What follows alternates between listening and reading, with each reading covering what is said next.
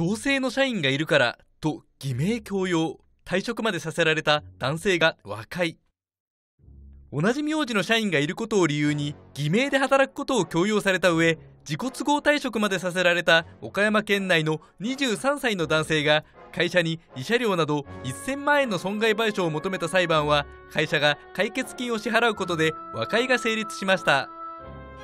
男性は新入社員説明会で指導担当者から同じ名字の社員がいるとの理由で名字を一時変えた名前での勤務を命じられ偽名の名刺を渡されたということです。本名での勤務が認められないため翌日から欠勤。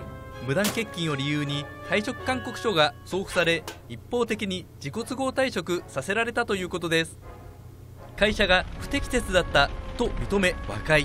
裁判官の提示した解決金550万円で合意したということです。あなたは会社に偽名を強要されたらどうしますか？コメントで教えてくださいね。ともニュース無料公式アプリが新登場。ダウンロードしてね。